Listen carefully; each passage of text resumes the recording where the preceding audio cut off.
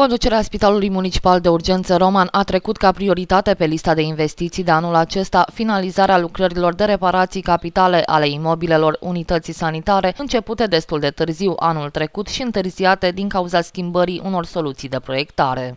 Avem în, în obiectiv și am uh, analizat uh, uh, modul de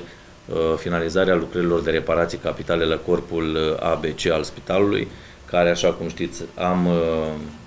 uh, început, am mai făcut o parte și anul trecut, dar datorită faptului că s-au început lucrările relativ târziu, uh, a fost necesară o reproiectare în urma unor modificări legislative, s-a schimbat soluția de proiectare, au fost necesare reautorizări pentru lucrările care le-am făcut, astfel încât n-am putut să facem o suprafață foarte mare. Ne-am dorit că în acest an să facem, să putem finaliza și acest obiectiv, atât datorită faptului că vom aduce reduceri la consumul de utilități, dar știți și dumneavoastră că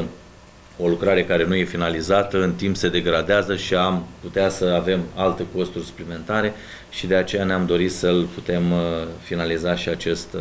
obiectiv.